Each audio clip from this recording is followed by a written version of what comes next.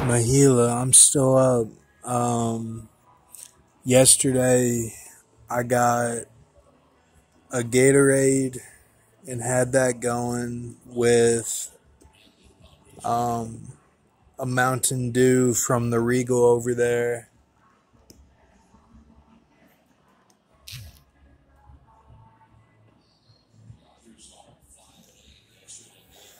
Um, a, Mount, a Mountain Dew, and I had a water going um, from over here. And what I did was I put butter in them. I put butter in it, in everything from the Regal. And um, what I did was I, I took a sip pretty much from every cup and then I disposed of every cup after that. Um, except the one that was the water, I had to give that cup back. So that showed symbolism of being the Keanu Reeves because um, I think the the re um, I you know Heath Ledger in that sense. I think that he knelt on that day.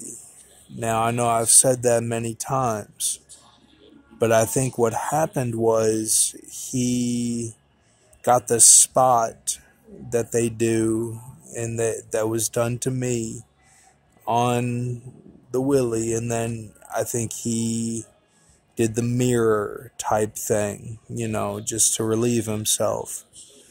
And he could have done some more than that, but that was um, H's dream of you were out of jail and happy. I think he meant Heath Ledger was. So I was very worried. I was very worried. And that's what I did to for the keen of Keanu Reeves. And I, th- I think that it worked. Okay. That was yesterday. Um, so, and the thing about Lil Baby that's trippy is that he got with or tried to get with the re as French when I was in Lexington and, and saw him again since KCPC. I, and then they went after him, remember? And then that was the many medicines. But it was it was a heroin that he would have been like in Area 51 during all that.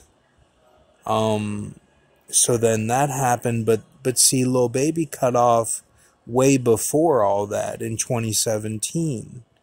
So they knew that that would be his cutoff, and Lil Baby's name means French's cutoff for himself.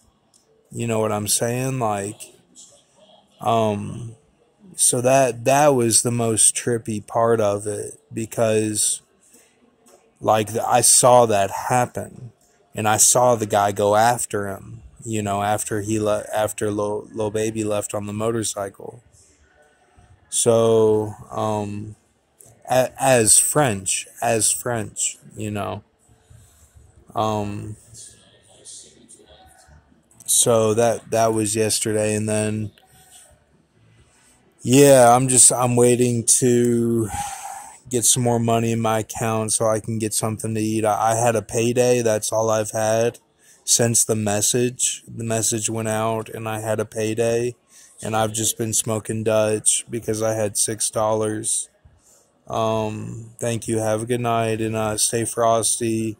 It's all live, man. Every moment now is live. Just treat it like anything can happen at any moment, you know, because that's basically where we're at with it. The papers, I, I can't even write anything down.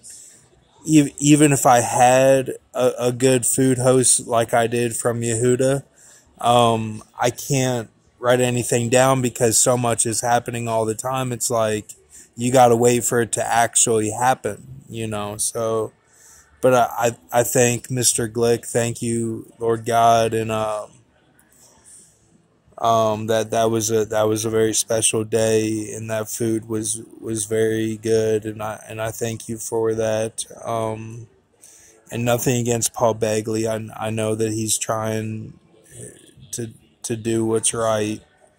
Um, he's got a lot of forces against him, and when I when I uh, was on the cross in bed and was brought before the president of the Council on Foreign Relations um, right before Estelle Louise Fletcher died.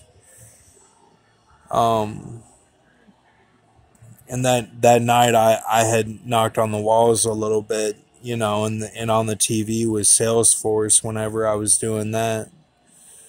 That was the headline. Um, going back and forth, you know. But uh, when I was brought before them, Paul Begley, Paul Begley helped me. He did because they brought out the church leaders, and and Paul Begley was he he was one of them that they called out, and he said, "No, I, I think he's all right." You know, thank you.